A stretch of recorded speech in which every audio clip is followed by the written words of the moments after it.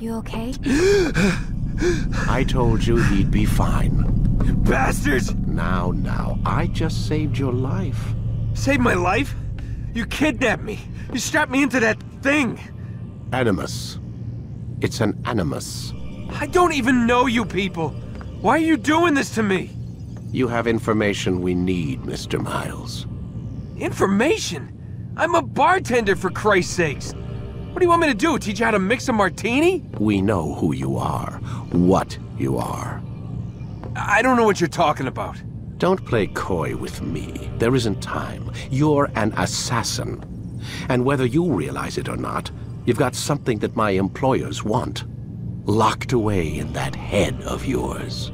But I'm not an assassin. Not anymore. Yes, your file indicated as much. Something about an escape. Most fortunate for us. What do you want from me? For you to do as you're told. The Animus will allow us to locate what we need. Once we have it, you'll be free to go. I am not going back in there. Then we'll induce a coma and continue our work. When we're done, you'll be left to die. Truth be told, the only reason you're still conscious is because this approach saves us time. You're insane. So what is it, Mr. Miles? Live or die? Lie down.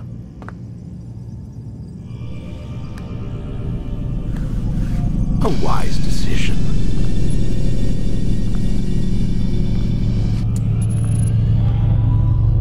Whoa. Where am I? You're inside the Animus. Which is... It's a projector that renders genetic memories in three dimensions. Genetic memory. Seems you'll need a bit of a tutorial. Very well. We'll start simple. What is a memory, Mr. Miles? It's the recollection of a past event. Specific to the individual remembering the event. Yeah, sure. What if I told you that the human body not only housed an individual's memory, but the memories of his ancestors as well? Genetic memory, if you will. Migration, hibernation, reproduction. How do animals know when and where to go? What to do?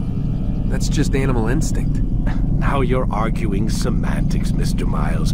Whatever you call it, the fact remains. These creatures hold knowledge absent the requisite first-hand experience. I've spent the past 30 years trying to understand why. I discovered something most fascinating. Our DNA functions as an archive. It contains not only genetic instructions passed down from previous generations, but memories as well. The memories of our ancestors. And the Animus lets you decode and read these DNA files. Precisely. But there's a problem. This is the specific memory we're trying to access. Unfortunately, when we try and open the memory, your mind withdraws. You lack the confidence to step into your ancestor's body. That's what happened earlier. You got knocked out of the target memory and pushed back to a more stable state. Why?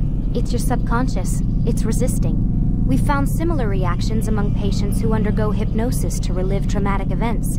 They can't jump directly into the specific memory. They need to be eased in. Even then, there can be problems. So how do we fix it? We find a memory you can synchronize with, and we move forward from there. You'll get used to it. This is the closest we can get, so it's where we'll have to start. I'm uploading the tutorial program now.